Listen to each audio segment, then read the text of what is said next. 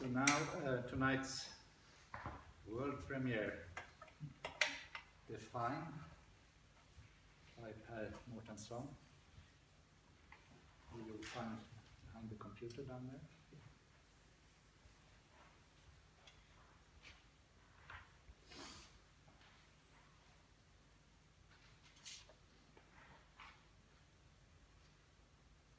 I read somewhere about the most difficult jobs, and I saw that they had compared uh, before a horn player make an entrance in an orchestra, the heart beat, and it was equivalent to a, a pilot in war.